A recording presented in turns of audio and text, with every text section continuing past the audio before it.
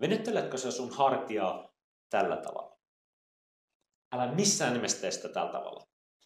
Nimittäin tällä videolla mä opetan sulle nyt, miksi sitä ei kannata tehdä näin, miksi se voi olla vaarallista ja mikä on se oikea tehokas tapa tehdä se, jotta sä oikeasti saat sen hartian aukeamaan. Morjes, mä oon urheiluhiero Jouhakala erojumaista.fi sivustolta. Ja nyt yleisin tapa, mitä mä näen porukka venyttää sitä hartia, on se, että käännetään täällä korva olkapäähän. Ja vielä avitetaan vähän kädellä, ihan varmistetaan, että ihan varmasti on hirveä puristus täällä niskassa. Mietipä nyt sun kaularangasta niitä nikamia. Tarkoitus, kun on venyttää näitä lihaksia, niin onko paras tapa runtata sitä kaularankaa sivulle, oikein puristaa sitä, puristaa niitä nikamia yhteen? Vai olisiko paras tapa venyttää niitä lihaksia, se, että me saadaan lisää pituutta sinne? Nimittäin, jos tehdään hirveä rutistus tänne ja vielä kädellä avitetaan, niin aiheutetaan hirmuinen paine tänne kaulan sivuun, mikä voi aiheuttaa ongelmia, etenkin jos se kaula ei ole kondiksessa, on siellä kulumaa tai muita ongelmia. Ja paras tapa nyt tehdä se on niin, että sen sijaan, että runtataan korvaa olkapäähän, luodaan ensin tilaa sinne nikamien väliin. Venytetään ensin nikamia poispäin toisesta.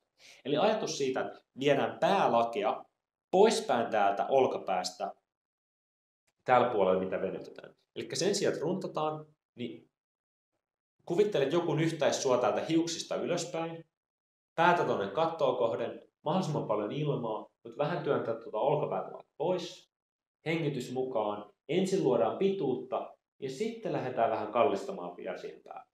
Eli ensin se tota, pituus sinne rankaan, ensin ilmaa, tilaa sinne nikamien väliin ja sitten lähdetään viemään sinne sivulle.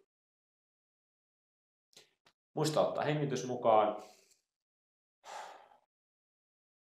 Ja kokeilepa sitten toinen puoli.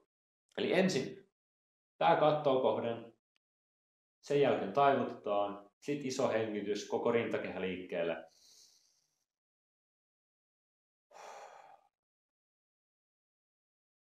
Noin.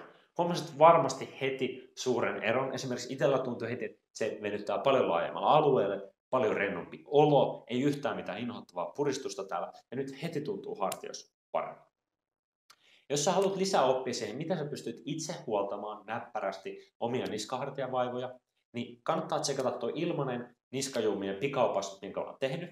Linkin löydät tuosta videon lisätiedoista. Siellä saat lisää linkkejä ja opetusta siihen, miten sä pystyt itse ilman särkylääkkeitä tai hieroilla käyntiin itse huoltamaan niitä niskavaivoja, jotka aiheuttavat muun muassa päänsärkyä, migreeni, erilaisia kiputiloja.